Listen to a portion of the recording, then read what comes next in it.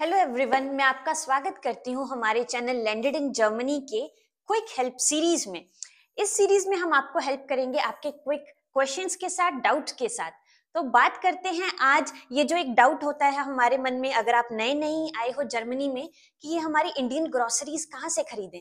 आप रेवे Aldi Netto जैसे सुपर मार्केट्स में जाते हो, और आप देखते हो कि वहाँ पे आटे जैसा कुछ नहीं मिल रहा, वहाँ पे दालें, वहाँ पे चावल आपके टाइप के नहीं मिल रहे।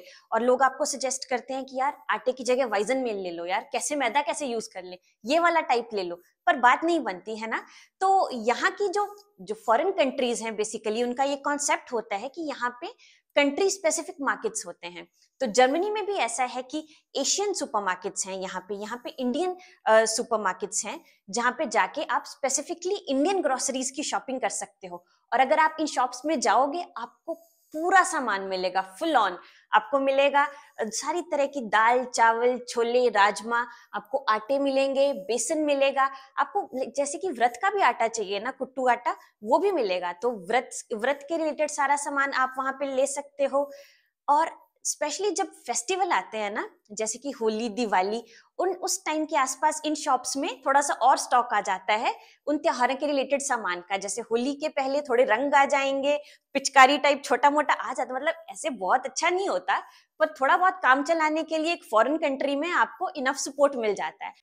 तो भूलिएगा मत सर्च कीजिए गूगल पे जाके कि अपने नियरेस्ट इंडियन स्टोर्स क्या हैं और वहाँ पे जाइए। जैसे मैं बर्लिन के बता देती हूँ, बर्लिन में है टीएस फूड्स जो कि यहाँ पे ऑटो स्ट्रासे पे है और मेरा बहुत फेवरेट है, वहाँ पे सारा सामान मिल जाता है। और ये एक और है यहाँ पे सोना फूड्स पे। वो हमसे थोड़ा सा दूर है तो हम वहाँ नहीं जाते, हैं ना? और अगर आपके स्टोर्स जो है नियरेस्ट वो इतने नियर नहीं है तो आप ऑनलाइन ऑप्शंस भी ट्राई कर सकते हो। जैसे बर्लिन के लिए स्पेशली है Indian supermarket market dot D और यहाँ पे है स्पाइस विलेज डॉट डी तो हो सकता है आपकी सिटी में भी ऐसे ऑप्शंस हो जो आपको घर पे डिलीवर कर दे इंडियन ग्रोसरीज तो इंडियन स्टोर्स एग्जिस्ट करते हैं जहाँ पे आपको सब कुछ मिल जाएगा अपने इंडियन खाने बनाने के लिए, है ना? और यहाँ पे एक और ऑप्शन है।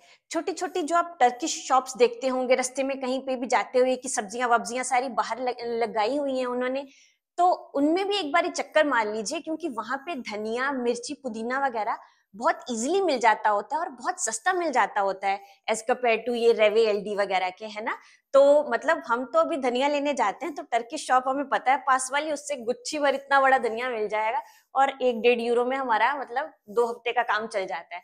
तो ये चीज़ें करना ज़रूर याद रखें। आटा दाल चावल की बात कर ही रहे थे तो आपको एक लेटेस्ट अपडेट दे देते हैं कि इंडिया ने आटे का एक्सपोर्ट बंद कर दिया है, जिस वजह से जर्मनी में और बाकी कंट्रीज़ में भी आटे के प्राइसेस हैं, वो बहुत बढ़ गए हैं। तो अभी जो आटा आप पहले कुछ 10 यूरो का 10 किलो खरीद लेते होते थे, अब कुछ 28 यूरो का आ रहा है, जो कि मतलब बहुत ही ज़्यादा है। एकदम से आपका खर्चा बहुत बढ़ जाएगा।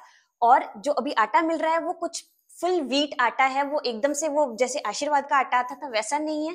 थोड़ा सा ब्राउनिश में है, थोड़ा सा प्योर ज़्यादा है। तो आशा करते हैं कि आपको इस वीडियो से हेल्प मिली होगी और इसी अपनी क्विक हेल्प सीरीज़ में हम ऐसी ही वीडियोस बनाते रहेंगे कि जिसमें आपके हम छोटे छोटे क्वेश्चंस को क्विकली एड्रेस करें और इस सीरीज़ को फॉलो करते रहिएगा।